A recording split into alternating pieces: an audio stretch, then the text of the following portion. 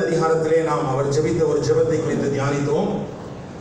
இந்த இரண்டாவது மூன்றாவது அதிகாரத்திலேயும் திரும்பவுமாக எழுதப்பட்டிருக்கிற அப்போசனாகிய பவுலுடைய ஆழமான ஒரு ஜெபத்தை நாம் தொடர்ந்து தியானிக்க கத்துடைய ஆவியானவர் கிருபை செய்வாராக. அல்லேலூயா இந்த ஜெபத்திற்கு முன்னுரையாக அல்லது ஜெபம் யாரை நோக்கி செய்யப்பட வேண்டும் என்பதற்கு அங்கே ரெண்டு வசனங்கள் எழுதப்பட்டிருக்கிறது. ஒருவேளை கர்த்தருடைய ஜெபம் என்று சொல்லப்படுகிற இயேசு கிறிஸ்து தம்முடைய சீசர்களுக்கு கற்றுக் கொடுத்த ஜெபத்திலே ஒரே வார்த்தையில எழுதப்பட்டிருக்கிறது பரமண்டலங்களில் இருக்கிற எங்கள் பிதாவே அப்படின்னு சொல்லி. ஆனா இந்த இடத்துல அப்போஸ் பவுல் யாரை நோக்கி ஜெபிக்க வேண்டும் என்பதற்கு அதற்கான காரண காரியங்களை இங்கே குறிப்பிடுகிறார். அதை குறித்து நாம் கவனமாக இருக்க வேண்டியது அவசியம். அநேக நேரத்திலே நம்முடைய ஜெபங்கள் இயேசுவே என்று நாம் ஆரம்பித்து விடுகிறோம். அது தவறு என்று சொல்ல முடியாது ஆனால் சரி என்றும் சொல்ல முடியாது. எல்லா இடங்களிலும் வேதத்திலே ஜெபிக்கும்படியாக எப்படி ஜெபிக்க சொல்லியிருக்கிறார்கள் என்றால் இங்கே வாசிக்கிறோம் அந்த வசனத்துல இது நிமித்தம் நான் பரலோகத்திலும் பூலோகத்திலும் உள்ள முழு குடும்பத்துக்கும் நாம காரணராகிய நம்முடைய கர்த்தராயிருக்கிற இயேசு கிறிஸ்துவனுடைய பிதாவை நோக்கி யாரை நோக்கி நாம் ஜெபிக்கிறோம் பிதாவை நோக்கி. அந்த பிதா யார்? பரலோகத்திற்கும் பூலோகத்திலும் உள்ள முழு குடும்பத்திற்கும் நாம் காரணராகிய பிதா. இரண்டாவது கர்த்தராயிருக்கிற இயேசு கிறிஸ்தனுடைய பிதா. அல்லேலூயா பிதாவாகிய ஏ யாரை நம்ம பார்த்து நம்ம ஜெபிக்கிறோம் அப்படின்னா பிதாவை பார்த்து ஜெபிக்கிறோம் அந்த பிதா யார் அப்படின்னு சொன்னா இப்போ கத்துடைய சிவத்தில் பரமண்டலங்களில் இருக்கிற பிதா என்று எழுதப்பட்டிருக்கிறது. எங்கே சொல்லப்பட்டிருக்கிறது பரலோகத்திற்கும் பூலோகத்திலும் இருக்கிற எல்லா குடும்பத்திற்கும் நாம காரணர் அவர் என்று எழுதப்பட்டிருக்கிறது. அது மாத்திரமல்ல கத்தராகிய இயேசு கிறிஸ்துடைய பிதா என்று எழுதப்பட்டிருக்கிறது. அல்லேலூயா அப்ப அந்த பிதாவாகிய தேவனை நோக்கித்தான் நாம் என்ன செய்கிறோம்? ஜோம் பண்றோம் யாரை நோக்கி ஜோம் பண்றோம் ஃப்ரம் அட்ரஸ் அதாவது ஜூ அப்படிங்கிறது தான் அங்கே எழுதி. அடுத்து எப்படி ஜோம் பண்ணாரு? அப்படின்னு சொன்னா எப்படி ஜெபம் முழங்கால் படியிட்டு. அப்ப ஜெபிக்கிறதுக்கு அப்படின்னு சொல்லி சில வழிமுறைகளை வேதம் நமக்கு கற்பிக்கிறது. இன்னைக்கு இந்த முறைமைகள் எல்லாம் நம்முடைய சமுதாயத்துல மாறிக்கிட்டு இருக்குது. வானோர் பூதலத்தோர் யாவருடைய முழங்கால்களும் அவருக்கு முன்பதாக முடங்கும். இது ஆண்டவராகிய இயேசு கிறிஸ்து இந்த உலகத்திலே வந்து இந்த முழு மனுக்குலத்தினுடைய பாவத்தை தீர்ப்பதற்காக அவர் சிந்தின ரத்தம். அது நிமித்தமாக இந்த உலகத்திற்கு வந்த மீட்பு. அது நிமித்தமாக பர- பரலோக தேவன் அவருக்கு கொடுத்த உயர்வு. இதன் அடிப்படையிலே தான் அங்கே எழுதப்பட்டிருக்கிற வார்த்தை வானோர் பூதலத்தோர் எல்லாருடைய முழங்கால்களும் அவருக்கு உண்டதாக என்ன செய்யணும் முடங்கும் என்று. ஆனா இன்னைக்கு என்ன செய்ய மாட்டேங்குது? முடங்க மாட்டேங்குது. ஒரு கொஞ்சம் வருஷத்துக்கு முன்னாலெல்லாம் முழங்கால் ஜெபிக்கும் போது முழங்கால் போடல அப்படின்னு சொன்னாலே திருச்சபை வந்து அப்படிப்பட்ட ஆட்களை ஒரு வித்தியாசமா பார்த்தாங்க. ஏன்னா அன்னைக்கு இருந்த காலகட்டத்தில் அன்னைக்கு இருந்த போதனைகளுடைய படி ஜெபம் பண்ணும்போது முழங்கால் போடலைன்னா கண்டிப்பா பிசாசு இருக்குன்னு தான் அர்த்தம். அப்படிதான் சொன்னாங்க. ஏன்னா பிசாசு துரத்தும் போது கூட எவ்வளவுதான் ஆடி உருண்டு எல்லாம் பண்ணினாலும் கடைசியா ஜெபம் பண்ணும்போது என்ன செய்யணும்? முழங்கால் போடணும். அப்படி முழங்கால் போடலைன்னா சொல்லுவாங்க இன்னமும் உள்ள இருக்குது. இப்போ அந்த அளவுகோலை வைத்துக்கொண்டு நாம் இன்றைக்கு சபையை பார்த்தால் இன்னைக்கு கிட்டத்தட்ட அதுதான் இருக்கும் பொழுது இன்னைக்கு கிட்டத்தட்ட எதுதான் இருக்கும் போல இருக்கு? அதுதான் இருக்கும் போது ஆனா நம்ம நினைச்சிட்டு இருக்கிறோம். நான் என்ன சொல்றேன்? சரீரத்தில் பலவீனம் அப்படிங்கிறதெல்லாம் ஒரு காரண காரியமாக காட்டினாலும் வேதம் அதை ஏற்றுக்கொள்ளுமா என்கிற ஒரு கேள்வியை கேட்டால் நிச்சயமாக ஏற்றுக்கொள்வதற்கு வாய்ப்பு இல்லை என்று தான் சொல்ல வேண்டும். ஏனென்றால் ஸ்தேவான் என்கிற அந்த தேவனுடைய மனுஷன் கல்லறியப்படுகிறான். யோசிச்சு பாருங்க கல்லறியப்படும் போது அவன் ஜெபிக்கிறான். எப்படி ஜெபம் பண்ணாரு? அஹ்? முழங்கால் யாராவது நாலு பேர் ஒரு ஐம்பது பேர் சேர்ந்து ஒரு மனுஷனை கல்லறியும் போது யாராவது முழங்கால் போட்டு ஜெபம்னு தோணுமா சொல்லுங்க நான் சின்ன பையனா இருக்கும்போது எங்கள் வீட்டில் குடும்ப ஜபத்துக்கு கூப்பிட்டாங்கன்னா நான் சொல்லிடுறேன் நான் படுத்துக்கிட்டே ஜோம் பண்ணிடுறேன் அப்படின்னு. அம்மா சொல்லுவாங்க எங்க என் தா என் அண்ணன் இப்படி தான் பண்ணுவேன் நீ அப்படியே பண்ணுமா? இங்கே யார் இருக்கிறீங்களான்னு தெரியல. அப்படி ஒரு காலம் இருந்துச்சு. ஜோம் பண்ணுறதுக்கு கூப்பிட்டாங்கனாலே நீங்கள் முழங்கால் நீங்கள் அங்கே உட்காந்து ஜோம் பண்ணுங்க நான் என்ன பண்ணிக்கிறேன் படுத்துக்கிட்டே ஜோம் பண்ணிக்கிறேன் அப்படின்னு சொல்லி கண்ணை மூடுனா அவ்வளோதான் பிறகு மூணாம் மனம் தான். எதுக்காக சொல்கிறேன் வேதத்துல ஜெபத்திற்கு ஒரு பேட்டர்ன் சொல்லியிருக்குது. இப்படி ஜெபிக்கணும் அப்படின்னு சொல்லி. அப்போ முழங்கால் போடுறது அப்படிங்கிறது பனிஷ்மெண்ட் கிடையாது. சிலர் என்ன நினைக்கிறாங்கன்னா முழங்கால் போடுங்க அப்படின்னா என்ன நினைக்கிறாங்க? நானும் ஒரு திருச்சபைக்கு போனேன் ஈரோட்டில் அப்போ என்னுடைய ஜெப நேரத்தில் பிரசங்கம் முடிச்சு ஜெப நேரத்தில் எல்லாரையும் முழங்கால் போட வச்சு அவங்கள அவ்வளோ கஷ்டப்பட்டு போட வச்சு ஜோமனை வச்சுட்டு இருக்கிறேன். இப்போ என்னுடைய ஜெப நேரம் முடிச்சு பாஸ்டர் கையில் கொடுத்த உடனே அவர் மைக்கை வாங்கின எல்லாரும் எழுப்பி நினைங்க தான் சொன்னார். என்னன்னா அவ்வளோ நேரம் அவர் மனசுக்குள்ள குதிச்சுட்டு இருந்திருக்கிறார். ஐயோ எங்கள் சபைக்கு வர ஆட்களை இவர் இவர் என்ன செஞ்சிருக்கிறாரு?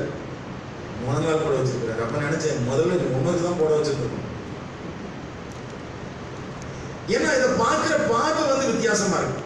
நான் அதுக்காக சொல்றேன். ஒரு மனிதன் கல்லறியப்பட்டு அவன் மறிக்கிற தருவாயிலே அவன் செபிக்கும் போது முழங்கால் பிடிச்சவன் அந்த வசனத்தை வாசிடலாமே அப்போ சிலர் ஏழாம் அதிகாரம்.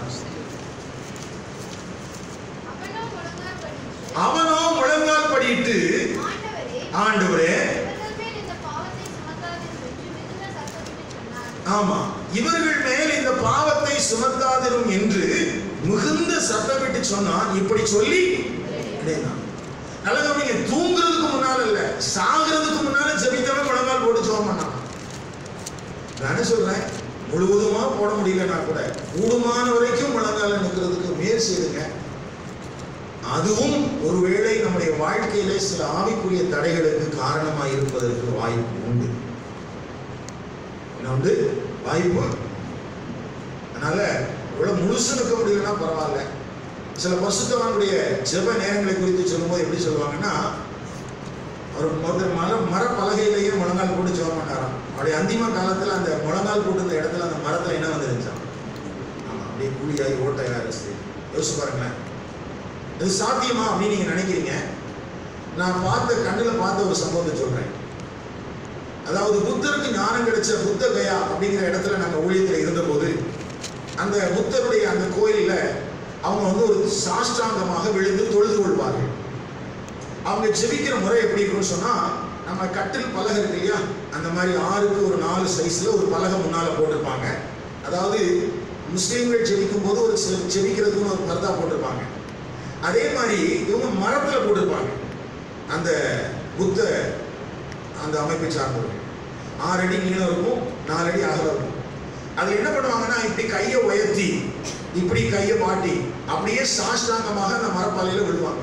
விழுந்து அந்த பலையை இப்படி கையில் இப்படி தேய்ச்சி திரும்ப அப்படி எழுப்புவாங்க. நீங்கள் அந்த பலையில் பார்த்தீங்கன்னா அவர்களுடைய அவயவங்கள் படுகிற இடங்கள் எல்லாம் அங்கே தேய்ஞ்சிருக்கும் ஒரு பலகை இல்லை அங்கே நிறைய இருக்கும். அங்கே அந்த கோயிலை சுற்றிலும் நிறைய அந்த மாதிரி பலகை போட்டு வச்சுருப்பாங்க. அவங்க பொத்து பொத்துன்னு விழுந்து அவங்க எழும்புறதை பார்க்கும்போது உண்மையாகவே ஜீவனுள்ள தேவனை ஆராதிக்கிற நம்முடைய வாழ்க்கையில் நம்ம கர்த்தரை எவ்வளவு அலட்சியம் பண்ணுகிறோம் அப்படிங்கிற காரியத்தை நம்ம பார்க்க முடியும். எதற்காக சொல்கிறேன் என்றால் கடவுள் இப்படி இல்லை என்று சொன்னவரை ஒரு மனிதனை கூட தொழுது கொள்ளும்போது அவ்வளவு பயபக்தியோடு கூட தொழுது கொள்கிறார்கள். ஆனால் ஜீவனுள்ள தேவனை ஆராதிக்கிற நம்முடைய வாழ்க்கையில அப்படிப்பட்ட எந்த கர்த்தருக்கு பயப்படுகிற பயமும் இந்த நாட்களில் இல்லாமல் போகிறது. தயவு செய்து சொல்கிறேன் உங்களுடைய பிள்ளைகளுக்கும் ஜெபிக்க சொல்லும்போது எப்படிதான் ஜெபிக்கணும் முழங்கால் போட்டு ஜெபிக்கிறதுக்கு கற்றுக் கொடுங்க. அப்படி கற்றுக் கொடுத்தீங்கன்னா ஒரு நாளும் அவன் தவறான இடத்துல சிக்க வேண்டிய ஒரு சூழல் வராது. வீட்டில் முழங்கால் போட்டு ஜெபிக்கிறதுக்கு சொல்லலைன்னா இன்னொரு நாள் வேறு இடங்களிலே அவன் இப்படிப்பட்ட பனிஷ்மெண்ட்டை வாங்கக்கூடிய ஒரு சூழல் அவன் வந்துடலாம். ஏன்னா கடந்த காலத்தில் வேதத்தை மறந்தவர்கள் அந்த தேசத்தில் இருக்கிற பரிசுத்தவான்கள் சொல்லும்போது என்ன சொன்னாங்க தெரியுமா? அமெரிக்கா தேசத்தில் ஆகட்டும் ஜெர்மன் தேசத்தில் ஆகட்டும் பள்ளிக்கூடங்களிலே வேதாகமங்களை நாங்கள் எடுத்து விட்டோம். இப்பொழுது எங்கள் பிள்ளைகள் சிறைச்சாலைகளிலே இருக்கிறார்கள். பள்ளிக்கூடத்தில் பைபிளை சொல்லிக் கொடுத்த வரைக்கும் எங்கள் பிள்ளைங்க எங்க போகல? சிறைச்சாலைக்கு போகல. பள்ளிக்கூடத்தில் பைபிள் சொல்லிக் கொடுக்க வேண்டாம்னு சொல்லி நாங்கள் தீர்மானம் பண்ணோம். ஏன்னா சமுதாயம் சமத்துவம் இருக்கணும் அப்படின்லாம் நாங்கள் டீச் பண்ண ஆரம்பித்தோம் இப்போ எங்கள் பிள்ளைங்க எங்கே இருக்கிறாங்க? சிறைச்சாலையில் இருக்கிறாங்க. அதனால இது அனுபவம் இது சரித்திரம். இதை நம்ம மாற்ற முடியாது. அப்ப நான் மட்டும் என் பிள்ளையை நான் இப்படி பண்ணிடுறேன் அப்படின்னு சொல்லி நினைக்கிறதெல்லாம் முட்டாள்தனமான காரியம். இன்னொரு காரியத்தை கூட சொல்றேன். நேற்று ஒரு வீடியோ பார்த்துட்டு இருந்தேன். அதுல பிள்ளைகள் வளர்ப்பை குறித்து பேசுறாங்க. சின்ன வீடியோ தான். அந்த பிள்ளைகள் வளை வளர்ப்பை குறித்து ஆராய்ச்சி பண்ணினவர்களுடைய முடிவு என்ன அப்படின்னு சொல்லி அவங்க ரெண்டு வார்த்தை சொன்னாங்க. என்ன முடிவு? மூணு வயசுல சாரி மூணு மாசத்துல இருந்து அந்த பிள்ளைகள் கேட்கிற எதை எல்லாவற்றையுமே கொடுத்து பழகக்கூடாதாம் உங்களால் கொடுப்பதற்கு திராணி இருந்தாலும் கூட எத்தனை மாசத்துல இருந்து மூணு மாசத்துல பிறந்த பிள்ளை மூணு மாசத்துல இருந்து அது கேட்கிறத கொடுக்கறதுக்கு நமக்கு திராணி இருந்தாலுமே எல்லாவற்றையுமே நம்ம என்ன செய்யக்கூடாதான்? கொடுக்கக்கூடாதான். இதை வந்து வேதத்தை படித்தவங்க சொல்லலை. பொதுவான ஆராய்ச்சியின் அடிப்படையில் அவர்கள் முடிவெடுத்திருக்கிறார் அதை சொல்லும்போது என்ன சொல்றாங்க? பிள்ளைகள் வளர்க்கப்படும் போது எல்லா காரியத்தையும் வாங்கி கொடுப்பதற்கு உங்களுக்கு திராணி இருந்தாலும் கூட சில காரியங்களுக்கு அவங்களுக்கு என்ன சொல்லி கொடுக்கணும்? நோ இல்ல இது தரமாட்டேன் இது கிடைக்காது அப்படின்னு சொல்லி கொடுக்கணும். அப்படி சொல்லி கொடுக்காம வளர்த்தா எல்லாமே வாங்கி கொடுத்து வளர்த்தா பின் நாட்களிலே ஒருவேளை தாய் தகப்பனை விட்டு பிரிந்து அந்த பிள்ளை தனியா எங்கேயோ வேலை செய்யற இடத்துலயோ அல்லது தனி கொடுத்தனத்திலயோ இருக்கும்போது அதுக்கு ஏதாவது ஒரு பொருள் கிடைக்கலன்னா அது உடனடியா என்ன பண்ணுது அப்படின்னா ஒண்ணு யாரு தரமாட்டேன்னு சொன்னாலும் அவனை குத்து தான் இல்லைன்னு சொன்னா இது தற்கொலை பண்ணி கொடு என்ன செய்யுது? ஒண்ணு தரமாட்டேன்னு சொன்னவன குத்திடுது. இல்லைன்னு என்ன செய்யுது? தன்னை அழித்துக் கொள்கிறது. அப்போ இப்படிப்பட்ட விபரீதமான முடிவுகளை எடுக்கக்கூடிய மனநிலைமை ஒரு பிள்ளைக்கு எதனால் உண்டாகிறது என்கிறதின் அடிப்படையில் தான் அந்த ஆராய்ச்சி. எப்படி பிள்ளையை வளர்க்கணும்? யோசிச்சு பாருங்க மூணு மாசம் பிள்ளையிலேருந்து அவங்க சொல்றாங்க இன்னும் சொல்லி கொடு. உன்கிட்ட பணம் இருக்கலாம். பணம் இருக்குங்கிறதுக்காக எல்லாத்தையும் என்ன செய்யாத பிள்ளைக்கு வாங்கி கொடுக்காத. சில காரியங்களுக்கு என்ன செய்யுங்க? நோன்னு சொல்லுங்க. அது நமக்கு தெரிஞ்சிருக்கணும். ஏன்னா நான் கஷ்டப்பட்டேன் அதனால என் பிள்ளையை நான் வளர்க்குறேன்னு சொல்லி வளர்த்தா பிள்ளை சில நேரத்தில் என்ன பண்ணிடும் ஒன்று தண்ணியை அடிச்சுக்கும் இல்லைன்னா மற்றவர்களை அழிக்கிறவர்களாக சரி. எதுக்காக சொல்றேன்னா ஜெபிக்கும் போது நமக்கு முறைமைகள் இருக்கிறது பிள்ளைகளுக்கு நாம் கற்றுக் கொடுக்க வேண்டும். பிதாவை நோக்கி முழங்கால் படிட்டு நம்ம என்ன செய்யணும்? ஜெபிக்கணும். சரி. இது பதினாலு பதினைந்தாம் வசனத்தில் சொல்லப்படுகிறது அடுத்தது அங்கே ஜெபக்குறிப்பு எழுதப்படுகிறது அதை எத்தனை ஜெபக்குறிப்புன்னு என்னால் வரிசைப்படுத்த முடியல. இன்னைக்கு கத்திரிக்கு சித்தமானால் ரெண்டு வசனங்களின் அடிப்படையிலே நாம் வேகமாய் தியானிக்க கத்துடைய ஆவியானவர் கிருபை செய்வாராக. பதினாறாவது வசனம் பதினேழாவது வசனம். நீங்கள் அவருடைய ஆவியினாலே உள்ளான மனுஷனில் வல்லமையாய் பலப்படவும். இதுதான் முதல் ஜெப குறிப்பு இப்போ முழங்கால் படிட்டு எவேசு பட்டணத்தின் வாசிகளுக்காக நான் பவுல் ஜெபிக்கிற ஜெபத்துல அவர் ஜெபிக்கிறாரு எவேசு பட்டணத்தின் சபையாரே நீங்கள் தேவனுடைய ஆவியினாலே உள்ளான மனுஷர்களை என்ன செய்யணும்? நிரப்பணும். அப்படின்னா என்ன அர்த்தம்? அப்படின்னா என்ன அர்த்தம்?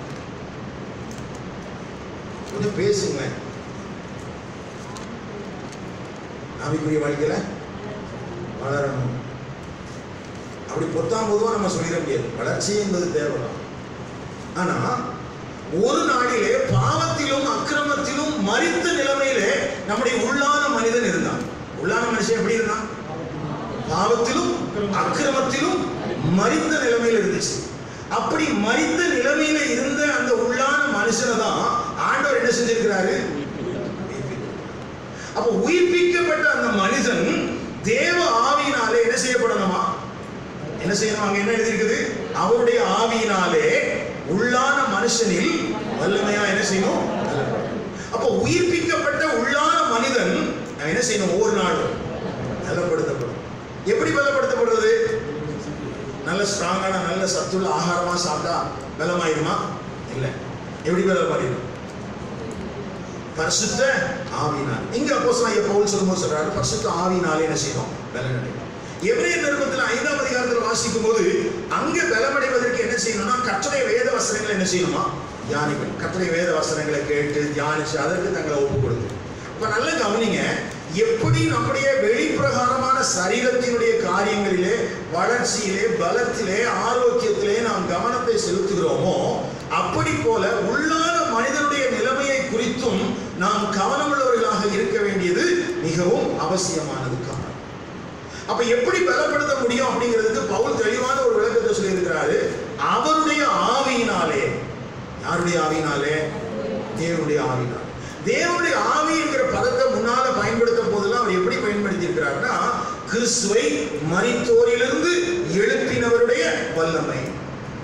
அப்ப நல்லா கவனிங்க என்னை மரித்த நிலைமையிலிருந்து உயிர்ப்பித்து மாத்திரமல்ல உயிர்ப்பிக்கப்பட்ட நிலைமையிலையும் யாருனால வல்லமையாக பலப்படுத்தப்படணுமா?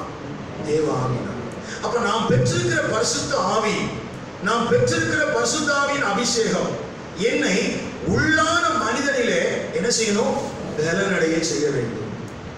அப்ப உள்ளான மனிதனிலே பலனடைய செய்யாத விதத்திலே என்னுடைய நான் எதுக்காக பெற்றிருக்கிறேன்னு அபிஷேகம் பெற்றிருக்கிறேனே தெரியாம இன்னைக்கு என்ன பிரச்சனைன்னு பார்த்தீங்கன்னா இப்போ அபிஷேகம் பெற்ற தேவனுடைய பிள்ளைகள் கூட எத்தனை வருஷம் ஆனாலும் அவர்கள் தாங்களாகவே கத்தரை சார்ந்து வாழ்வதற்கு பழக்குவிக்கப்படாமல் யாரையாவது சார்ந்துதான் வாழ்வதற்கு பழக்கப்படுகிறார். அப்படிதானே? எத்தனை வருஷம் பழக்கம் இருந்தாலும் யாரையாவது சார்ந்து தான் நம்ம என்ன செய்கிறோம் பழக்கப்படுறோம் நேற்றைக்கு கூட ஒரு ஃபோட்டோ எடுத்து போட்டிருந்தாங்க. ஒரு வயதான தாயார் நகைலாம் போடலை. நல்ல நான் நினைக்கிறேன் அவங்க போட்டிருக்கிற ட்ரெஸ் கோடெல்லாம் வச்சுருக்கும் போது நல்ல ஒரு பெந்தை கோசை பின்னணியத்தை சார்ந்தவர்கள் அப்படி இருக்கிறவங்க ஒரு வாலிப ஊழியன் இடத்திலே போய் ஜெபிப்பதற்காக போய் இருக்கிறார்கள். ஒருவேளை அந்த அம்மா ஜெபிக்க வந்ததுனால இவருக்கு ஒருவேளை நான் பெரிய ஆள் நினைப்பு வந்துச்சா என்னன்னு தெரியல. இவர் போகிற போக்கில் அப்படி இடது கையை வச்சு ஜோம் பண்ணியிருக்காரு. அதை ஃபோட்டோ எடுத்து ஒருத்தர் போட்டிருக்காரு. இடது கையில் ஜோம் பண்ணுறது எனக்குள்ள அவர் இடது கையில வச்சாரா வலது கையில வச்சாராங்கிறத நான் பார்க்கல. எனக்குள்ள என்ன கேள்வினா இத்தனை வருட வயது உள்ள ஒரு தாய் தேவன் தனக்கு கொடுத்திருக்கிற நன்மையான ஈவுகளை பயன்படுத்தி இன்னமும் தண்ணிலே பலன் கொள்ளாமல் இருக்கிறார்களே அப்படிங்கிற ஒரு பார்வை தான் எனக்குள்ள வந்துச்சு. இன்னைக்கு உங்க காலை நேரத்தில் தேவ சமூகத்தில் வந்திருக்கிற தேவனுடைய பிள்ளைகளை உங்களுடைய வாழ்க்கையில ஆண்டவர்களை உங்களை ரட்சித்து உங்களை வேறுபடுத்து நீங்க ஞான ஸ்நானத்திற்கு கீழ்ப்படிந்து பரிசுத்தாவின் அபிஷேகத்தை பெற்று அந்நிய பேசி அல்லது தீர்க்க தரிசன வரங்களை உடையவர்களாக இருக்கிறவர்களாக இருந்தாலும் நீங்கள் உள்ளான மனிதனிலே பரிசுத்த ஆவினாலே பலப்படுத்தப்பட்டவர்களாக பல அடைந்தவர்களாக அவரால் நடத்தப்படுகிறவர்களாக நீங்கள் காணப்படுகிறீர்களா அல்லது யாரையாயிலும் சார்ந்து வாழ்கிற ஒரு வாழ்க்கைக்கு நேராக நீங்கள் தூண்டப்படுகிறீர்களா என்கிற ஒரு கேள்வியை உங்களுக்கு முன்னதாக எழுப்பி பாருங்கள் தயவு செய்து சொல்கிறேன் மனிதர்களை சார்ந்து அல்ல. தேவ ஆவியினாலே பலப்படுத்தப்பட்டவர்களாய் நீங்கள் வாழ்வதற்கே தேவன் உங்களிடத்திலே விரும்புகிறார். அல்லா நீங்க இப்படிதான் இருக்கணும் ஆண்டவர் விரும்புகிறார். அதற்காக ஊழியத்தில் போய் ஜெபிப்பது தவறுன்னு சொல்லல. ஆனா அதையே சார்ந்து இருக்க முடியாது. அந்த ஜெபத்தை சார்ந்து உங்களுடைய வாழ்க்கை இருக்க முடியாது. ஞாயிற்றுக்கிழமை ஒரு நாள் போய் நெற்றியில சிலுவை போட்டு வருகிறதுனால என்னுடைய கிறிஸ்தவ வாழ்க்கை வளர்ந்து விட போகிறது இல்லை மாறாக அது தளர்ந்து கொண்டிருக்கிறது என்று அர்த்தம் நீ உள்ளான மனுஷனிலே பலப்படுவதற்காக கிறிஸ்துவை மறித்தோரிலிருந்து எழுப்பினவருடைய வல்லமை உன் வாழ்க்கையில வெளிப்படுத்தப்பட்டிருக்கிறது உன் வாழ்க்கையிலே மறித்த நிலைமையில் இருந்த உன்னுடைய உள்ளான மனிதனை அவர் உயிர்ப்பித்திருக்கிறார் அவர் உட்கார வைத்திருக்கிறார் அவர் பலப்படுத்தவும் சத்துவம் உள்ளவர். அவருடைய பலத்தினாலே நிரப்பப்பட்டவர்களாய்த்தான் நாம் காணப்பட வேண்டும். அல்லேலூயா. அப்ப இந்த காரியம் சபைக்குள்ள கண்டிப்பா தேவை. அப்படி இல்லைன்னு சொன்னா நம்ம யாரையாவது பார்த்து அப்படியே ஓடிக்கிட்டே இருப்போம். நானே போ அப்படி இல்லை. ஒவ்வொரு இண்டிவிஜுவல் பர்சனும் ஆண்டவுடைய பார்வையில விலையேற பெற்றவர்கள். தயவு செய்து சொல்கிறேன் அந்நிய மார்க்கத்தினுடைய சில திட்டங்கள் சில காரியங்கள் திருச்சபையை ஆக்கிரமித்திருக்கிறது. ஏதோ ஒருவன் உயர்ந்தவன் போலவும் மற்றவர்கள் எல்லாம் தாழ்ந்தவர்கள் போலவும் ஒருவருக்கு மாத்திரம் அநேக காரியங்கள் கொடுக்கப்படுகிறது போலவும் மற்றவர்களுக்கெல்லாம் ஒன்றும் கொடுக்கப்படாதது போலவும் இல்லவே இல்லை ஆண்டவருடைய ரத்தத்தினாலே கழுவப்பட்ட ஒவ்வொரு மனுஷனையும் ஆண்டவர் தன்னுடைய அவயவமாகத்தான் மாற்றி வைத்திருக்கிறார் அல்லேலூயா ஒவ்வொருவரையும் ஜீவனுள்ள கற்களாகத்தான் மாற்றி வைத்திருக்கிறார் அதுல எந்த வேறுபாடும் கிடையாது எந்த வித்தியாசமும் கிடையாது வித்தியாசம் காண்பித்தால் அவர் பட்சபாதம் உள்ள தேவனாக இருப்பார் அவர் பட்சபாதம் உள்ளவர் அல்ல அப்ப எல்லாருக்கும் அந்த ஈக்குவலான காரியத்தை கொடுத்திருக்கும் போது நம்ம ஏன் ஆண்டோடைய சமூகத்துல போய் உட்கார்ந்து ஆண்டவரே என்னை பலப்படுத்துங்க அப்படின்னு நம்ம கேட்கறது இல்லை நான் அடிக்கடி ஒரு ஓமையை நான் அடிச்சு நினைச்சு பார்த்துக்குவேன். ஏன்னா எங்க வீட்டில் நடந்த ஒரு சம்பவம் என்னுடைய வாழ்க்கையை ஆண்டவர் அதன் அடிப்படையில் தான் எனக்கு கற்றுக் கொடுத்தார். எங்க வீட்டுக்கு வந்தவங்களுக்கு தெரியும் அந்த தோட்டத்துல ஒரு பெரிய வேப்ப மரம் இருக்கு. ஒரு சிலர் வந்திருக்கிறீங்க உங்களுக்கு தெரியும். அந்த மரம் சின்ன கண்ணா வச்சிருக்கும் போது கிட்டத்தட்ட ஒரு பத்து அடி ஹைட்ல அந்த மரம் இருக்குது அப்போ அதோடு சேர்ந்து ஒரு மூங்கில் குச்சியை கட்டி வச்சிருந்தாங்க. அப்படியே தான் எங்க வீட்டில் அதை நட்டாங்க. அந்த மூங்கில் குச்சியோட இருந்துச்சு. காலங்கள் போச்சு வேப்ப மரம் வளர ஆரம்பிச்சது. இப்போ அந்த மூங்கில் குச்சி அதுல இருந்து உடச்சி எடுத்துட்டு அதுக்கு பதிலாக இன்னொரு குச்சியை வச்சு அதில் கட்டி வச்சிருந்தாங்க என்ன கேட்டா அந்த வேப்ப மரம் அதோடைய தடிமன் வந்து இந்த அளவுக்கு பெருசாயிருச்சு இவ்வளவு பெருசான பிறகும் அந்த மரத்தை இன்னொரு காஞ்ச கம்பில் தான் என்ன பண்ணி வச்சிருந்துச்சு? கட்டி வச்சிருந்துச்சு. அப்போ ஒவ்வொரு முறை நான் அந்த இடத்துல போய் அந்த வேலையில செய்யும்போது சுத்தம் பண்ணும் போதெல்லாம் நான் அந்த கட்டை அவுத்து விடுவேன். எங்கள் அம்மா சொல்லுவாங்க இல்லை கட்டை அவுத்து விட்டா பாரு இது ஆடிட்டே இருக்குது மரம். அதனால இதில் கட்டி விடு. ஆனால் என்னுடைய இதில் எனக்கு ஏற்றுக்கொள்ளவே முடியல. இது உயிருள்ள மரம். இது இப்போ எதை சார்ந்து வாழுது? ஒரு செத்து போன ஒரு கம்பில் வாழ்ந்துட்டு இருக்கு. இதை விடமா இதுக்கு பலம் கம்மியா இருக்கு அப்படின்னு சொல்லி நான் ஒவ்வொரு முறையும் செய்வேன். ஒவ்வொரு முறையும் அம்மா கட்டி வச்சிருவாங்க. ஒரு முறை அவங்ககிட்ட கொஞ்சம் சட்டம் போட்டுட்டு இல்ல பார்க்கலாம். ரெண்டு நாள் பார்க்கலாம். அதுக்கப்புறம் நம்ம கட்டிக்கலாம். அப்படின்னு சொல்லி ரெண்டு நாள் தனியா விட்டுட்டேன். அந்த வேப்ப மரம் இப்படியே சுத்திச்சு. காத்து அடிக்க அடிக்க அப்படியே சுத்திச்சு. ஏன்னா மாச கணக்குல வருஷ கணக்குல இன்னொரு துணையிலேயே வாழ்ந்து பழகினதுனால அதுக்காக என்ன செய்ய முடியல? தனியா நிற்க முடியல. ஆனா ரெண்டு நாள் ஆடிச்சு கீழெல்லாம் பாத்தீங்கன்னா மணலெல்லாம் வெடிப்பெல்லாம் விட்டு பயங்கரமாக இருந்துச்சு. அந்த காட்சிகளெல்லாம் ஆண்டவர் எனக்கு ஆவிக்குரிய ஜீவத்துக்கு கற்றுக் கொடுத்தனால அப்படியே மனதில் வைத்திருக்கேன். நான் ரெண்டு நாளுக்கு பிறகு திரும்ப போய் பார்க்குறேன். அந்த மரம் இப்போ ஸ்டெடியா இருக்குது எப்போ காற்று அடித்தாலும் அது என்ன செய்யறது இல்லை அசைகிறது இல்லை இதுலேருந்து ஆண்டவர் எனக்கு ஒரு பாடத்தை கற்றுக் கொடுத்தார். என்ன பாடம்? நானும் மற்றவர்களை சார்ந்து வாழ்வதற்கு பழகும் போது ஒருவேளை நான் பலமுள்ளவனாக இருந்தால் கூட நான் எதை நம்பிதான் வாழுகிறேன்?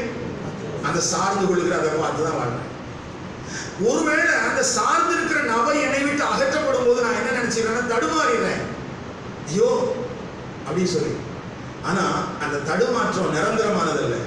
அந்த தடுமாற்றம் மாறி ஒரு நாளிலே பலப்பட்டவர்களாக நாம் நிற்க முடியும். அல்லேலூயா. ஆனா நம்ம என்ன நினைக்கிறோம்னா இந்த தடுமாற்றத்துல மட்டும் ஐயோ உடனே நான் அடுத்தவங்களை பிடிச்சுக்கிறோம். ஒரு ஆளை விட்டா உடனே பிடிச்சுக்கிறோம்.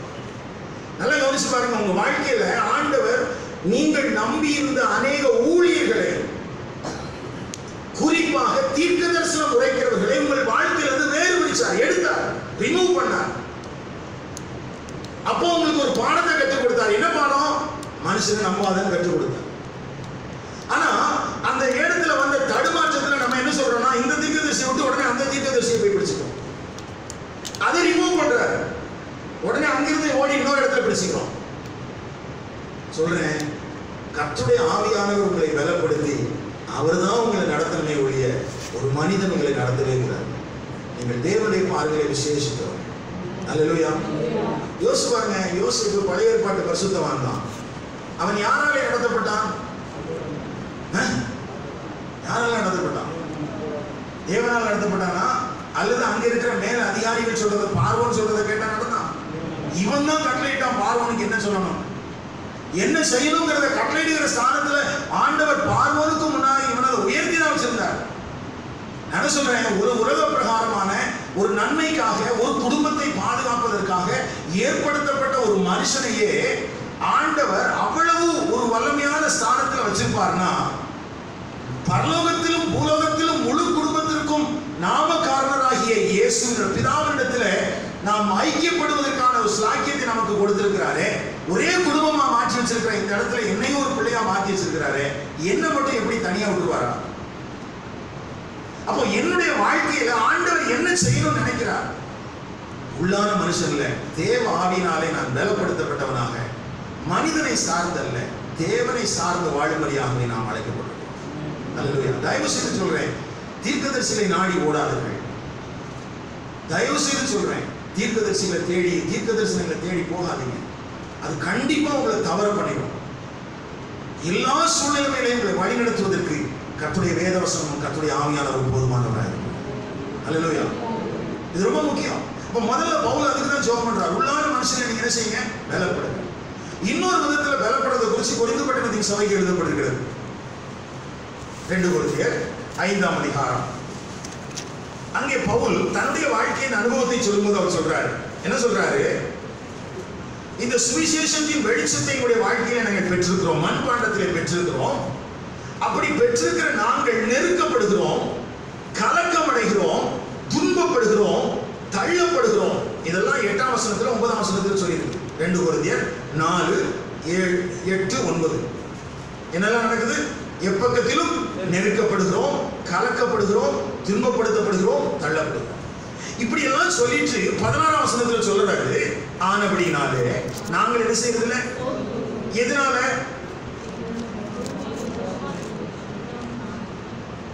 எதனால? அப்படி ஆனபடினாலே நாங்கள் என்ன செய்யறதில்ல? சோர்ந்து போவதில்லை எங்கள் உள்ளான எங்கள் புறமான மனுஷனானது அழிந்தும் நாளுக்கு நான் என்ன செய்யப்படுது? அப்போ அவருடைய வாழ்க்கையில அவங்க பெற்றிருந்த சுவிசேஷத்திற்காக அவர் வைராக்கியமாய் வாழும்போது அவர் சந்தித்த பிரச்சனைகள் போராட்டங்கள் இவைகளுக்கு மத்தியில ஆண்டவராகிய இயேசு கிறிஸ்துவின் மூலமாக தனக்கு கிடைத்த கிருமையானது வெளி தோற்றத்துல காயங்கள் இருக்கலாம் வெளி தோற்றத்துல சில கா- குறைவுகள்லாம் இருக்கலாம். ஆனா உள்ளான மனுஷங்களை நாளுக்கு நாள் என்ன செய்தாராம் புதிதாக்கப்பட்டார். நல்லா கவனிங்க. தேவ ஆவியினால் உள்ளான மனிதன் பலப்படுத்தப்படுகிறான். வேத வசனத்தினால் உள்ளான மனிதன் பலப்படுத்தப்படுகிறான். நாம் சந்திக்கிற பாடுகள் பிரச்சனைகள் இவைகளுக்கு மத்தியிலே நம்முடைய வாழ்க்கையில வெளிப்படுகிற தேவ கிருமையும் கூட நம்ம என்ன செய்து உள்ளான மனுஷனை பலப்படுத்துகிறது அப்போ நம்ம பாடுகள் வந்து வீண் அல்ல. நல்லா கவனிங்க உங்களுடைய வாழ்க்கையில நீங்க சந்திக்கிற பிரச்சனைகளுக்கு மத்தியில கர்த்தர் உங்களை பலப்படுத்துகிறார் என்றால் ஒருவேளை சரீர பிரகாரமான வெளி தோற்றத்திலே உங்களுக்கு வாழ்க்கையில தோய்வுகள் வந்திருக்கலாம். அதை பவுல் அதை குறிப்பிட்டு தான் சொல்றாரு. புறமான மனுஷனானது அழிந்தோம். உள்ளான மனுஷனானது புதிதாக்கப்படுகிறது. அப்போ இப்படி உள்ளான மனுஷன் பலப்படுத்தப்பட வேண்டும் என்கிற சிந்தையோடு கூட கர்த்தர் நம்மை நடத்தும் போது நாம் மற்றவர்களை சார்ந்து கொள்வது சரிதானா? சரி அதை நான் சொல்றேன். இந்த காரியம்லாம் நான் பேசணும்னு நினைக்கிறேன் தயவு செய்து மனிதர்களை சார்ந்து உங்களுடைய வாழ்க்கையை அழிந்து கொள்ளாது அடுத்தது இரண்டாவது. இல்ல எபேசியர் மூணு பதினேழு. ரெண்டாவது ஜெப குறிப்பு விசுவாசத்தினாலே முதல் ஜெப குறிப்பு என்ன? உள்ளான மனுஷனுக்கு வல்லமையா? பலப்படும். ரெண்டாவது ஜெப குறிப்பு விசுவாசத்தினாலே விசுவாசத்தினாலே கிறிஸ்து உங்கள் இருதயங்களில் வாசமாய் இருக்கும் ஒண்ணு என்ன செய்யணும்? கிறிஸ்து உங்களிலே வாசமாய் இருக்க வேண்டும். ரெண்டு நீங்கள் அன்பிலே வேறு நீங்கள் அன்பிலே வேரூன்றி இருக்க வேண்டும். நிலைபெற்றவர்களாக நிலை பெற்றவர்களாய். மூன்று காரியம் சொல்ல வாசமாய் இருக்கணும் வேரூன்றி இருக்கணும் நிலை பெற்றவர்களாக. ஆங்கில வேதாகத்தில் எப்படி சொல்லப்படுகிறது டுவெல் ரூட்டட் கிரவுண்டட் அப்படி மூன்று வார்த்தை பயன்படுத்தப்படுகிறது ஏன் விசுவாசத்தினாலே கிறிஸ்து என்னுடைய இருதயத்துக்குள்ள என்ன செய்யணுமா? வாசம். நல்லா கவனிங்க. பரிசுத்த ஆவியானவர் நம்ம இருதயங்களிலே வாசம் பண்ணுகிறவர். அதே நம்ம ரோமர் எட்டாம் அதிகாரத்தில் வாசிக்கிறோம். ஒன்று குறைந்தர் ஆறாம் அதிகாரத்துடைய கடைசி பகுதியில் வாசிக்கிறோம். பரிசுத்த ஆவியானவர் தங்கியும் வாசம் பண்ணுகிற ஜீவனுள்ள தேவனுடைய ஆலயமாக நாம் இருக்கிறோம். அல்லேலூயா. அப்படி இருக்க சேர்ந்து இங்கே சொல்லப்பட்டிருக்கிற காரியங்கள் என்ன? விசுவாசத்தினாலே கிறிஸ்துவ என்ன செய்யணுமா? வாசமா இருக்கு. வாசமா இருக்கிறதுல என்ன? அப்படிங்கிறத புரிந்து கொள்றதுக்கு பழைய ஏற்பாட்டுல ஆதியாகமம் பதினெட்டாம் அதிகாரம் பத்தொன்பதாம் பத்தொன்பதாம் அதிகாரத்திலையும் ஒரு சம்பவம் எழுதப்பட்டிருக்குது. என்ன சம்பவம்? ஒன்று ஆபிரகாமை மையப்படுத்தி இன்னொன்று லோத்துவை மையப்படுத்தி. ஒன்று ஆபிரகாம் வாழ்ந்த பிரதேசத்திலே இன்னொன்று லோத்து வாழ்ந்த பிரதேசத்திலே. அந்த பதினெட்டாம் அதிகாரம் முதல் பதினஞ்சு வருஷத்துல பாத்தீங்கன்னா ஆபிரகாமுடைய வீட்டுக்கு எத்தனை பேர் வர்றாங்க? மூன்று பேர் வர்றாங்க. லோத்துடைய இடத்துக்கு போகும்போது எத்தனை பேர் வராங்க சோகம் குமராவுக்கு ரெண்டு பேர் வராங்க ஒருத்தர் என்னாச்சு? ஏன் எதுக்காக அந்த சம்பவத்தை நான் சொல்றேன்னா அங்கேயும் இந்த டுவல் அப்படிங்கிற வார்த்தை தான் பயன்படுத்தப்படுது. வாசமா இருக்க. எங்கே அவர் வாசமா இருந்தார் எங்கே அவர் வாசமா இல்லை? ஆபிரகாமுடைய இடத்துல என்ன இருந்தார்? ஆண்டவர் வாசம் பண்ணினார். எங்க வாசம் பண்ணல? அப்போ நாங்க அங்கே நம்ம ஆபிரகாம் லோத்துடைய வாழ்க்கையை நம்ம என்ன கற்றுக்கொள்கிறோம்? ஆபிரகாம் அவன் தேவனால் அழைக்கப்பட்டிருந்தான் வாக்குத்தத்தங்களை பெற்றிருந்தான்.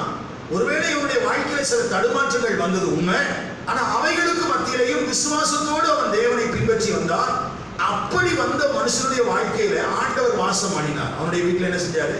வாசம் ஆனா இப்படி அழைக்கப்பட்ட ஒரு மனிதனோடு இசைந்து வந்தவன் ஒருவேளை அவன் அழைப்பை பெற்றவன் என்று சொல்ல முடியாது அழைப்பை பெற்றவனோடு வந்தவன் வாக்குத்தத்தம் பெற்றவனோடு வந்தவன் விசுவாசித்த ஒரு மனிதனோடு கூட நடந்தவன் இந்த இந்த காரியங்களெல்லாம் உடைய அந்த லோத்து அவர் இப்ப எங்க இருக்கிறாரு? மாம்சத்தின் சிந்தையோடு கூட அவன் என்ன செஞ்சிட்டு இருக்கிறான்? சோதம் குமாரில் இருக்கிறான் அங்க யார் வாசம் பண்ணல? கர்த்தர் வாசம் பண்ணல. நல்ல கவனிங்க நீங்கள் ஆவிக்குரியவர்களா? மாம்சத்திற்குரியவர்களா? நீங்கள் ஆவிக்குரிய சிந்தையோடு ஆவிக்குரியவர்களாய் இருப்பீர்களானால் உங்கள் இருதயத்திலே அவர் வாசமாய் இருப்பதற்கு வாய்ப்பு உண்டு. நீங்கள் மாம்சத்திற்குரியவர்களாய் இருப்பீர்களானால் நீங்கள் என்ன செய்யறதுக்கு வாய்ப்பு இல்லை. உங்க இருதயத்துக்குள்ள வாசம் பண்றதுக்கு வாய்ப்பு இல்லை. அப்போ கிறிஸ்து விசுவாசத்தினாலே நமக்குள்ளே வாசம் பண்ணுவதற்கு நான் எப்படிப்பட்டவனாக இருக்க வேண்டும் என்றால் ஆவிக்குரியவனாக தேவ ஆவினால் நடத்தப்படுகிறவனாக இருக்க வேண்டும்.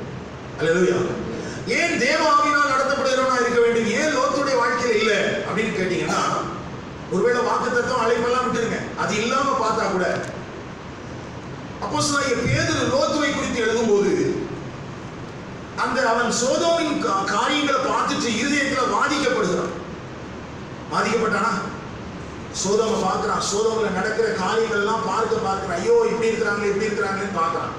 பார்த்துட்டு உடனே அந்த பட்டணத்தை விட்டு வெளியே வந்துட்டான் இவன்? என்ன செஞ்சான்? வாசிங்களா அந்த வசனத்தை. ரெண்டு பேர் ஒன்றாம் அதிகாரம்.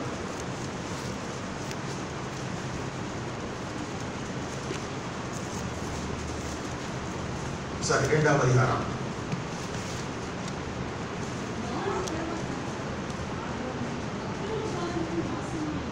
ஆ.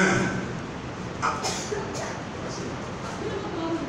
அக்கிரமக்காரருக்குள் வாசமாயிருக்கையில் அவர்களுடைய காம விகார நடக்கையால் வருத்தப்பட்டு நாள்தோறும் அவர்களுடைய அக்கிரம கிரியைகளை கண்டு கேட்டு நல்ல கவனிங்க அங்க என்னென்ன நடந்துச்சு சோதம் குமரோல நடக்கிற பாவத்தை குறிச்சு அவன் என்ன பண்ணானா வருத்தப்பட்டான் அதையெல்லாம் பார்த்தான் கேட்டான் இருதயத்துல என்ன செஞ்சுச்சான் நீதியுள்ள தன்னுடைய இருதயத்துல வாதிக்கப்பட்டான் ஆனா அப்படி இத்தனை காரியங்கள் நடந்திருந்தும் இத்தனை காரியங்கள் இது தவறுன்னு தெரிஞ்சும் கூட ஏன் அந்த மனித சோதமையை விட்டு குமராவை விட்டு வரல இன்னைக்கும் அநேக இடத்துல சில பாவமான காரியங்களை குறித்து மற்றவங்க செய்த காரியத்தை குறித்து கேள்விப்படும் போது கூட அநேகருடைய இருதயம் பாதிக்கப்படுகிறது ஐயோ இப்படி பண்றாங்களே ஏன் ஆனா என்னுடைய கேள்வி என்னன்னா அதே காரியத்தை நம்ம செய்யாம எப்படி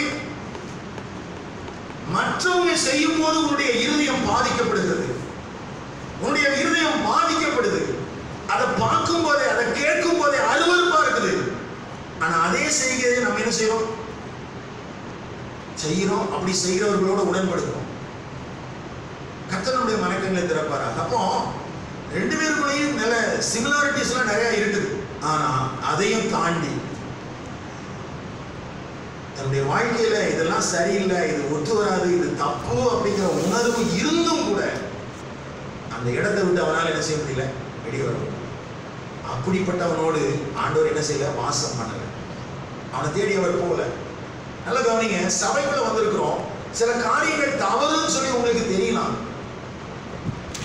சில காரியங்கள் இது தப்பு அப்படிங்கிறது உங்களுக்கு தெரிஞ்சிருக்கலாம்.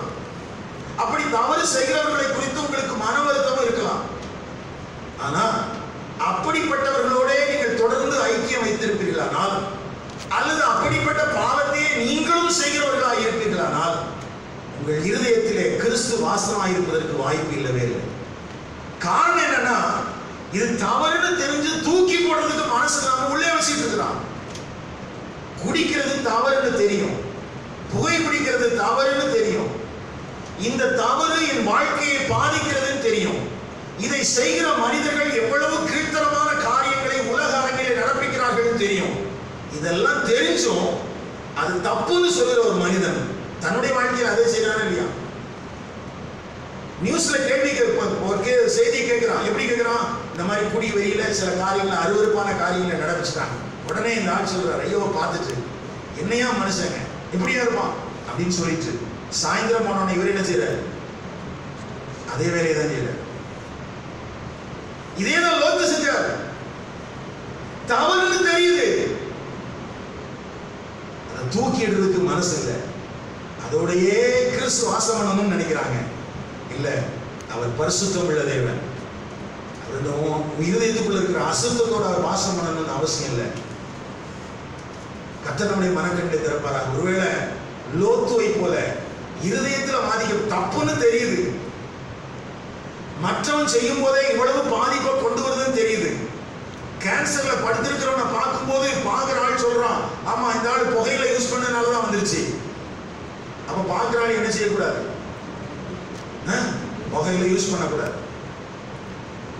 குடிச்சு வெறிச்சு உள்ள இருக்கிற அவயவங்கள் எல்லாம் வெந்து போய் கிடக்கிறவனை பார்க்க போறான்.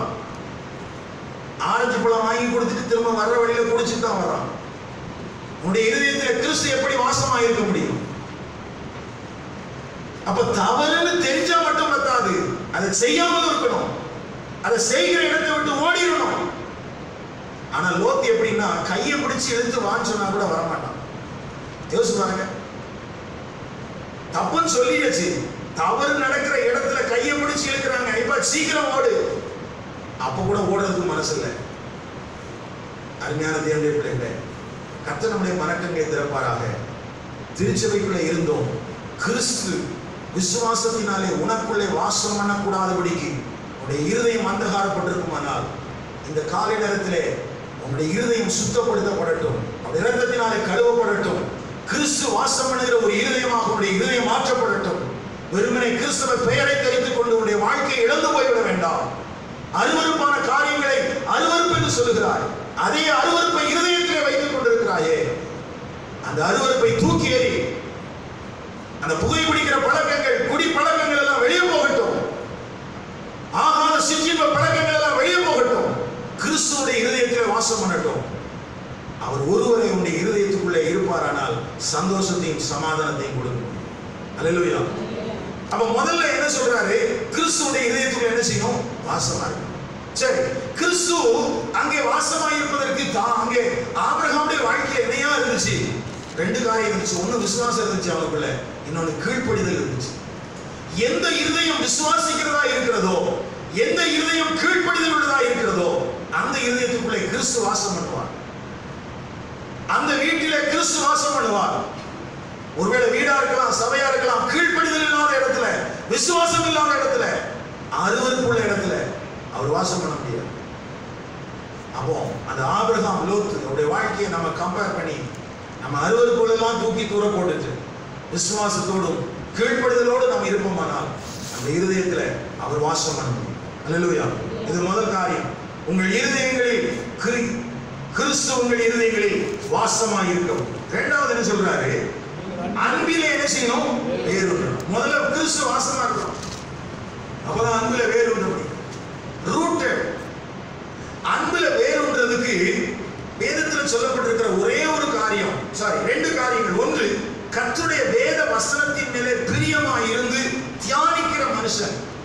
நீர்க்கால்களின் ஓரமாய் நடப்பட்ட மரத்தை போல அவன் கனிகளை தருவான். ஏன்னா அவன் ஆழமான வேர்களை விட்டவனா இருப்பான் கிறிஸ்துவின் மேலே ஆழ வேரூற்றப்பட வேண்டுமானால் இதை குறித்து இன்னொரு வார்த்தை எழுதப்பட்டிருக்கிறது. கொலோசையர் இரண்டாம் அதிகாரம். ஆறாம் வசனம். ஆகையால் நீங்கள் கர்த்தராகிய இயேசு கிறிஸ்துவை கிறிஸ்து இயேசுவை ஏற்றுக்கொண்டபடியே அவருக்குள் வேறு கொண்டவர்களாகவும் எப்படி அவருக்குள்ள வேறுபடுறது? எப்படி அவருக்குள்ள வேறுபடுறது? வேத வசனத்தை தியானிச்சு அந்த வேத வசனத்திற்கு ஏற்றாற் போல என்னுடைய வாழ்க்கையை திருத்தி அமைத்துக் கொண்டால் நான் யாருக்குள்ள வேறுபட முடியும்? அப்ப ஆழமான வேரூன்றுவதற்கு சங்கீதம் ஒண்ணு முதல் மூணு வசனம் நமக்கு பார்க்காம தெரியும். ஆனா அந்த வசனத்திற்கு எதுக்குமே நம்ம கீழ்ப்படிய மாட்டோம். அதாவது அந்த முதல் சங்கீதத்தை இன்ட்ரடக்ஷன் டு ஸ்லாம்ஸ் அதாவது சங்கீதத்துக்கு முன்னுரை அப்படின்னு சொல்லலாம். வேதாகமத்துக்கு முன்னுரை என்று சொல்லலாம். வேதாகமத்தை கரங்களில் வைத்திருக்கிற ஒரு தேவனுடைய பிள்ளை அந்த ஆறு வசனங்களின்படி நடந்தால் மட்டும்தான் உள்ள என்டர் முடியும். அதான் கேட்வே ஆனா நம்ம அதை குறிச்சே கவலைப்படுறதில்லை அதனால தான் பிள்ளைங்களுக்கு முதல்ல ஒன்னா சங்கீதம் சொல்லிக் கொடுத்து சொல்றாங்க. என்ன செய்யக்கூடாது? துன்மார்க்கருடைய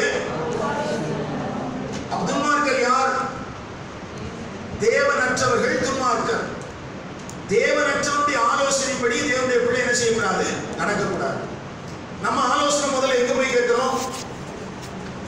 மாமன் மச்சான் அல்லது ஏதோ ஒரு உறவை பேர் சொல்லி யார்கிட்ட போய் கேட்கிறோம்?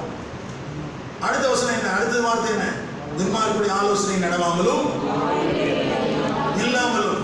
பரியாசக்காரர் உட்காரும் இடத்தில் அப்ப இந்த மூணு காரியத்தையும் செய்யாம அதுக்கு பிறகு கற்றுடைய வேதத்தில் பிரியமாய் தியானமாய் இருக்கிற மனுஷன். பகல் மாத்திரமல்ல இரவு பகலும். அவனைத்தான் வேதம் பாக்கியவான் என்று சொல்கிறது. கடைசியாக நீங்கள் வேதத்தை தனிப்பட்ட விதத்திலே நேசித்து வாசித்த நேரங்கள் என்ன? கொஞ்சம் யோசித்து பாருங்க. கடமுறைக்கு வாசிக்கிறது அல்ல. நேசித்து வாசித்த வேத வசனங்கள் எப்பொழுது? ஏதோ பைபிள் படிச்சிட்டியான்னு கேட்டா பைபிள் படிச்சிட்டேன் எங்க வீட்டுல இது ஒரு பெரிய பிரச்சனையா இருக்கு எங்க பிள்ளைங்களுக்கு. காலையில இருந்தா பைபிள் படிச்சா சாயந்தரம் வந்தா பைபிள் படிச்சா பைபிள் படிக்க வச்சிடறோம் ஆனா பிரியமாய் படிக்கிறோமா?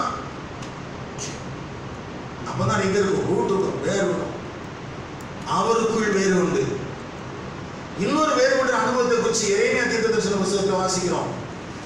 இறைமையா பதினேழாம் அதிகாரம்.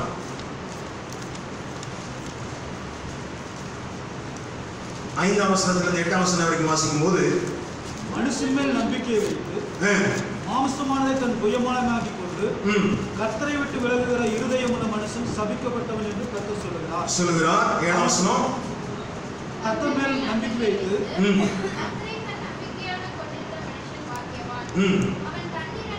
இங்கே சொல்லப்பட்டிருக்கிறது ஒன்று மனுஷன் மேல் நம்பிக்கையை வைத்திருக்கிறவன் இன்னொருவன் கர்த்தர் மேல் நம்பிக்கையை வைத்திருக்கிறான்.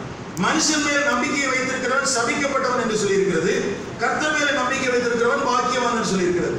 அது மாத்திரம் இல்ல ஆறாவது வசனத்திலும் எட்டாவது வசனத்திலும் சொல்லியிருக்கிறது அவன் அந்தர வெளியிலே கரளையான செடி கரள் கரளையாய் போன செடியை போல் இருந்து நன்மை வருகிறதை காணாமல் வனாந்திரத்தின் வறட்சியான இடங்களிலும் குடியில்லாத ஒவ்வொரு நிலத்திலும் தங்குவான்.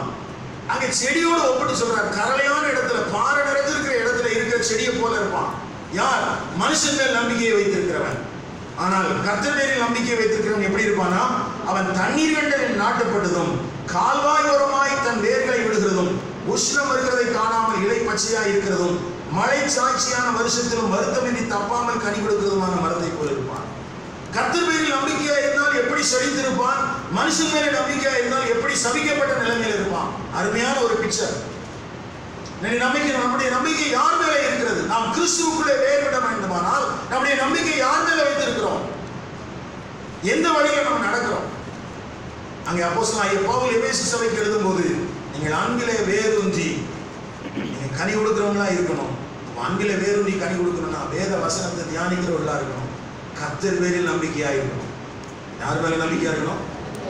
கத்தர் பேரில் நம்பிக்கையா இருக்கணும். மனுஷன் மேல ச- நம்பிக்கையை வச்சுக்கிட்டு அவன் எதை செய்வான் இதை அவன் எதை செய்வான்னு சொன்னா அது சபிக்கப்பட்டவன் என்று சொல்லியிருக்கிறது. அவனுடைய வாழ்க்கை எப்படி இருக்கும்? கரளையான இரு இடத்துல இருக்கிற செடியை போல இருக்கும். அருமையான தேவடைய பிள்ளைகளே அப்படி நம்பிக்கை ஒரு நாள் மனுஷர்களுக்கு மேல வைக்க வேண்டாம். நாசியில சுவாசம் உள்ள எந்த மனுஷனும் பொய்யன் என்று சொல்லியிருக்கிறது. அந்த சாபத்தை நாம் அறிவித்துக் கொள்ள வேண்டாம். நம்முடைய நம்பிக்கையை கத்தர் பேரில் வைப்போம். அலையிலோயா சரி மூணாவது அங்கே எபேசியர் அந்த வசனத்துக்கு வருவோம். அன்பிலே வேரூன்றி நிலை பெற்றவர்களாகி கிரவுண்டட் இதுவும் அதற்கு ஏத்த ஒத்த வசனம் தான் ஆனா இங்க என்ன அர்த்தத்துல சொல்லியிருக்குன்னா ஒரு கட்டிடத்திற்கு அஸ்திமாரம் போடப்படுவது போல. முதல்ல ஒரு செடியினுடைய ஒரு மரத்தினுடைய வேர் விடுவது போல. அந்த அர்த்தத்தில் சொல்லியிருக்கிறார். இங்க என்ன சொல்லியிருக்குன்னா கட்டடத்தினுடைய அஸ்திவாரம் போல. ஒரு கட்டடத்துக்கு அஸ்திவாரம் எங்க போடப்படணும்? அதை குறித்து இயேசு கிறிஸ்து ஓமையில் என்ன சொல்லியிருக்கிறார்? மத்திய எழுத சுவிசேஷம் ஏழாம் அதிகாரத்துல. எங்க அஸ்திவாரம் போட சொல்லியிருக்குது கண்மலையின் மேல். கண்மலையின் மேல போடுறதுன்னா என்ன? ம்? இருபத்தாறாம் வசனம். மத்திய ஏழு இருபத்தாறு. நாம் சொல்லிய இந்த வார்த்தைகளை கேட்டு இவைகளின்படி செய்யாதிருக்கிறவன் எவனோ? அப்போ கத்தருடைய வார்த்தைகளை கேட்டு செய்கிறவன் தான் யாரா இருக்க முடியும்? நிலை பெற்றவர்களாக இருக்க முடியும். எப்படி இருக்க முடியும்? நிலை பெற்றவர்களாக கத்துடைய வார்த்தையை கேட்கறதுல தப்பு இல்லை. கத்துடைய வார்த்தையை கேட்டுட்டு அப்படியே விட்டுட்டு போறதுனால ஒரு பிரயோஜனம் இல்லை. அதனாலதான் யாக்கோ நிறுவத்தில் நம்ம தியானிக்கும் போது பார்த்தோம் வேதவசனத்தை கேட்கிறவர்களாக மாத்திரம் அல்லாமல் அதன்படி செய்கிறவர்களாயும் இருப்பேன் ஏன்? செய்கிறவர்களாக இருந்தா நான் நிலை பெற்றவனாக இருப்பேன். அஸ்திவாரத்துல உறுதியாக இருப்பேன். அருமையான தேவனுடைய பிள்ளைகளே நாளிலே நம்முடைய மனக்கண்ணை திறந்தருள்வாராக. நீ அப்போஸ்தலனாகிய பவுல் ரெண்டு ஜெப குறிப்பு எழுதியிருக்கிறாரு. ஆனா அதை நாலு பாயிண்டா நம்ம பார்க்கிறோம் ஒண்ணு உள்ளான மனுஷனிலே நாம் வல்லமையாய் பரிசுத்த ஆவியினாலே என்ன செய்யப்படணுமா? வெள்ளப்படுத்தப்பட வேண்டுமா? ரெண்டாவது கிறிஸ்து நம்முடைய இருதயங்களில் என்ன செய்யணும்? வாசமாக இருக்கணும் அன்பிலே நாம் வேறின்றவர்களா இருக்கணும் நிலை பெற்றவர்களாக இருக்கணும் இந்த காரியங்களிலே நாம் கவனமாக இருக்க கத்துடைய ஆவியானவர் நமக்கு கிருவை செய்வாராக. அல்லா வாசமாக இருப்பதற்கு என்ன செய்யணும்? விசுவாசத்தோடும் கீழ்ப்படிதலோடும் அவர் வாசம் பண்ணுகிற அந்த இருதயத்தை உடையவர்களாக நாம் காணப்பட வேண்டியது அவசியம். லோத்துவை போல அல்ல. ஒருவேளை வாதிக்கப்படுகிற காரியத்தை வாதிக்கப்பட்டுட்டே இருக்கிறோம்னு வச்சுங்க எனக்கு அடிக்கடி ஒரு சந்தேகம் வரும். நமக்கு அரசியல்வாதிகள் எல்லாம் எலெக்ஷன் எடுக்கும்போது என்ன சொல்லி தான் ஓட்டு வாங்குறாங்க? எல்லாம் எந்த கட்சியாக இருந்தாலும் நல்லது செய்யறது தான் ஓட்டு வாங்குறாங்க. ஆனா ஒருத்தர் கூட ஆட்சிக்கு வந்த வந்தவரை என்ன செய்யறது அதை அது செய்யறது இப்போ கிறிஸ்தவர்களும் அப்படித்தான் பாருங்க. ஒவ்வொரு முறை வசனத்தை கேட்கும்போது என்ன சொல்றோம்? ஆண்டவருக்கு ஒப்பு கொடுக்கும் நான் வீட்டுக்கு போனா போச்சு. அப்ப எது தவறு என்று தெரிவது பிரச்சனை இல்லை. அது இன்னைக்கு எல்லாருக்கும் தெரியுது. ஆனா அந்த தவறை என்ன செய்யணும்? செய்யாம இருக்கணும். செய்யாமல் செய்யாம இருக்கணும். தயவு செய்து சொல்றேன். அநேக பாவங்களை குறித்து உங்களுக்குள்ள வாதிக்கப்படலாம். நல்ல இருதயம். உங்களை நீதிமான வேதம் சொல்லுது. ஆனால் அதை வாதிக்கப்படுதோடு நின்ற வேண்டாம். அந்த வாதிக்கப்படுகிற காரியங்களை தூக்கி குப்பையில் போட்டுருங்க. அது எதுவாக இருந்தாலும் ஓகே. தூக்கி போட்டுட்டு நீங்க இணைந்து கொள்ளுங்கள். நிச்சயமாக என்னுடைய வாழ்க்கை ஆசீர்வதிக்கப்படும். அல்லேலூயா. அப்படி இல்லைன்னு சொன்னா நம்ம மனுஷன் மேலே நம்பிக்கை வச்சு அப்படிலாம் போயிட்டு இருந்தோம்னா பாருங்க எந்த இடத்துலையாவது நம்ம சொன்ன எக்ஸாம்பிளில் அவங்க பிழைச்சிருக்கிறதுக்கு வாய்ப்பு இருக்குதான் வாசமாக இருக்கிறதுல எக்ஸாம்பிளுக்கு லோகத்தை காமிச்சேன். வேறுன்றதுக்கு ஒரு எக்ஸாம்பிள் கத்தர் மேலே நம்பிக்கையாக இல்லாதவன் கத்தர் மேலே மனுஷன் மேல நம்பிக்கையா ஆனால் சபிக்கப்பட்டவன் தெரியுது. இன்னொரு இடத்துல இங்கே அஸ்திபாரத்துக்கு வந்தால் இங்கே சொல்லியிருக்கிற எக்ஸாம்பிள் என்ன சொல்லியிருக்குது? அந்த வீடு என்ன செய்யாதான் அழிஞ்சு போகும். அப்போ கத்தருடைய வார்த்தையை கேட்டு கத்தர் பேரில் நம்பிக்கையாக இருந்து அவர் இருதயத்துக்குள்ளே வாசம் பண்ணுகிற அந்த நிலைமையிலே நாம் காணப்படும் போது நிச்சயமாகவே நம்முடைய வாழ்க்கை தனிப்பட்ட விதத்தில் மாத்திரமல்ல குடும்பமாய் அநேகருக்கு சாட்சியாக இருக்க முடியும். அல்லேலூயா. அப்போ இந்த ஒரு பரந்த தரிசனத்தோடு தான் அப்போஸ் பவுல் அவர்களுக்காக ஜெபிக்கிறார். அந்த ஜெபத்தை தியானிக்கிற நம்முடைய வாழ்க்கையில இது நம்முடைய ஜெபமாய் மாத்திரமல்ல இதுவே நம்முடைய வாழ்க்கையாகவும் மாறட்டும். அல்லேலூயா. முன்னாள் முடிவிடுவோமா ஜெபிப்போம்.